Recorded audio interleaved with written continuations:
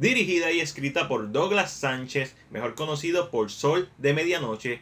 Esta es una película sobre el legendario cantautor puertorriqueño Daniel Santos, conocido como El Jefe. Este es el tipo de filmes hechos en Puerto Rico que yo quiero ver. Filmes inteligentes, con una visión artística, con dirección, que aunque tengan que hacer de tripas corazones porque no tienen los millones que tienen las películas de Hollywood, aún así se las arreglan para mostrarnos un producto de calidad, con un buen guion y grandes actuaciones. La última gira no es solamente un filme que artísticamente es inteligente, sino que en pre y postproducción se nota la inteligencia en cómo se manejó el presupuesto. Porque el cine en Puerto Rico no está bien apoyado por el gobierno. Ah, pero viene Gerald Butler a grabar The Plane y ahí sí aumentan los fondos que se le van a dar a las películas, ¿verdad? Extranjeras.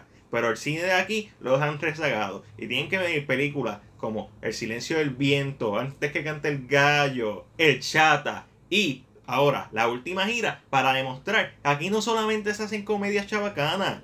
Aquí se puede hacer filme de altura, de calidad. Y esto es totalmente gracias a el arduo trabajo y el cariño que le metieron a este filme. Lo que me encantó de la película es que, aunque yo sé que claramente no es una película con un gran presupuesto, se la ingeniaron para evocar el sentimiento de una época de antaño, de una época de los 70, de los 80, de los 50, cuando el bolero y el cha-cha-cha era la orden del día. Esto lo hicieron enfocándose en vestuarios y en diseño de interior. Y le tengo que dar todo el aplauso del mundo a este aspecto del filme, ya que combinado con una buena cinematografía e iluminación, logran transportarnos a esta época dorada. Y esto es un filme bohemio al final del día.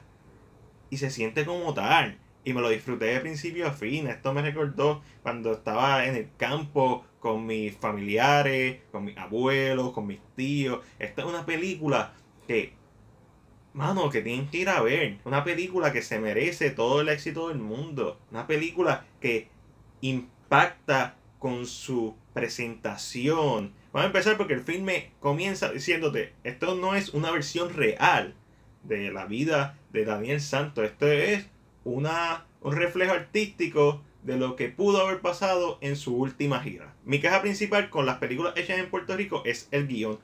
Y en la última gira, si bien hay unas partes del guion que no me encantaron, fueron mínimas. No se siente como si fuera una idea que pasó por un borrador y ya, esta se siente como una idea que fue bien elaborada y bien pensada. Y me encantó que empezara diciéndote que esto era una ficción, porque así, mira, se libra de todo mal.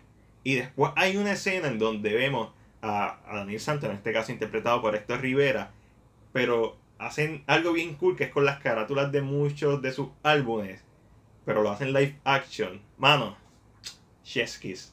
Y todas esas cosas te ayudan a que uno se concentre en la película y se adentre a esta historia, en donde vemos a un Daniel Santos retirado que con ayuda de su biógrafo consigue hacer una última gira. Pero ¿qué pasa? Él no va a ser el titular, él va a ser el telonero, el que le abre a la artista del momento una mujer de su pasado. Y ahora estamos hablando de un tipo mujeriego, borrachón y posiblemente un tanto machista. Así que cómo su ego se ve afectado por esto es una de las partes más interesantes y más cautivantes dentro de la presentación de la historia. Héctor Rivera como Daniel Santos está en la madre. Uno al principio le coge pena, ¿verdad? Porque en sus ojos se ve esta tristeza y cuando se entera que la gente ya no sabe quién es él, que lee un artista del pasado y constantemente le están diciendo que pensaba que estaba muerto, uno ve esa pena en sus ojos.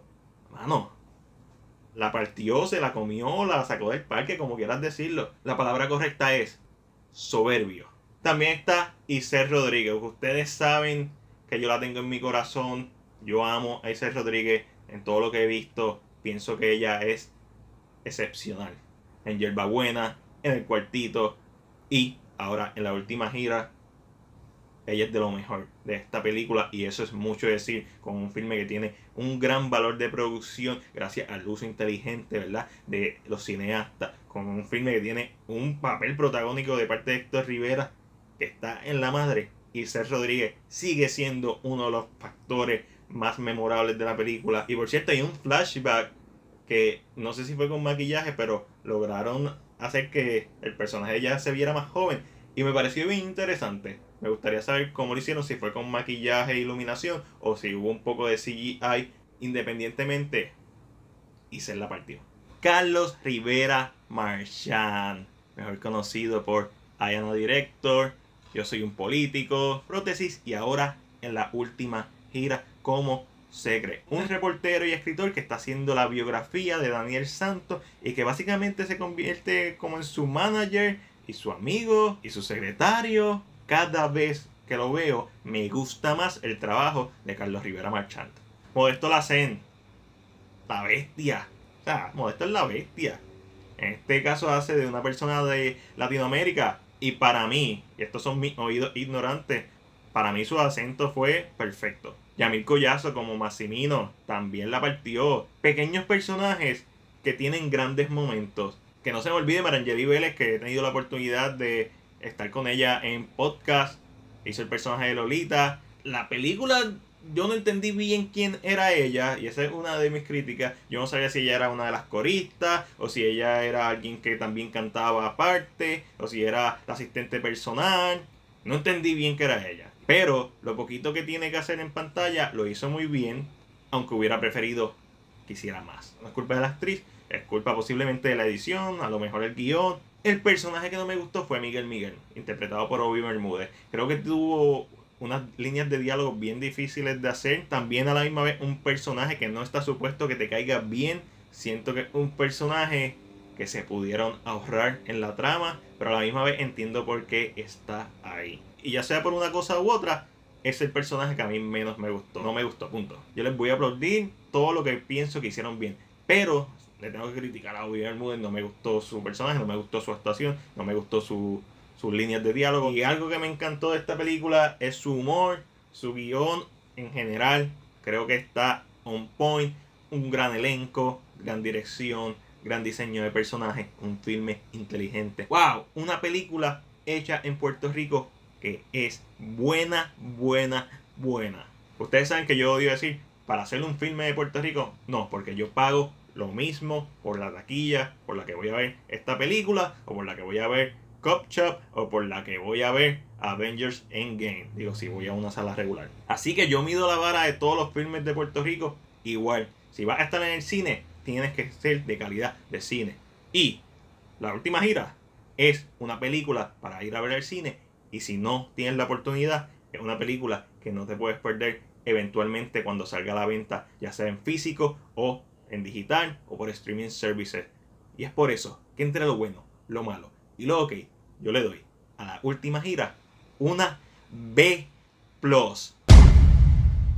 Pero esa es solamente mi opinión. Ahora déjame saber la tuya en la sección de comentarios. Como siempre, si te gusta este video, dale like y compártelo. Recuerda suscribirte a nuestro canal de YouTube y darle a la campana de notificaciones para que no te pierdas nuestro contenido. Este fue Mac de CinePR y será hasta la próxima.